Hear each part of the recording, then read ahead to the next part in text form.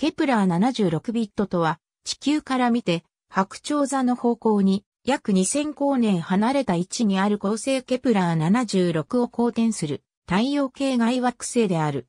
BEER アルゴリズムで発見された初めての太陽系外惑星である。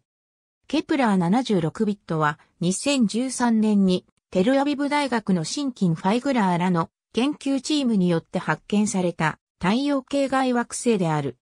彼らは NASA のケプラー宇宙望遠鏡が観測したデータから10年前に提案された手法である BEER アルゴリズムを用いて白鳥座にある約13等級の恒星のデータからケプラー69b を発見した。 BEER アルゴリズムは以下の3つの効果の頭文字である。これらの効果による恒星の同時に起こる明るさの変化を計測することで惑星を発見する。この方法は地球よりずっと質量の大きい惑星にしか適用できないという弱点がある。しかし、ドップラー分光法とは異なり、高精度のスペクトルを必要としない。また、ケプラー宇宙望遠鏡が行っているトランジット法は地球から見て惑星が恒星面を通過するという有用だが稀な現象が必要ではない。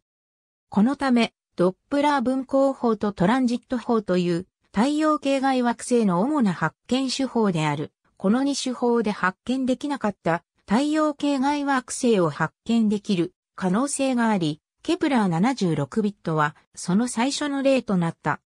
ケプラー76bはその発見方法から公転周期が正確に求まっている。公転周期は正確に1日13時間4分41.8秒である。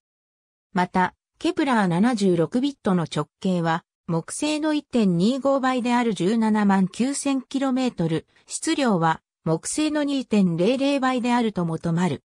ケプラー76からわずか420万 km という水星の10分の1以下の軌道を公転しているため、表面温度は摂氏1676度という超高温に熱せられていると推定されている、いわゆるホットジュピターである。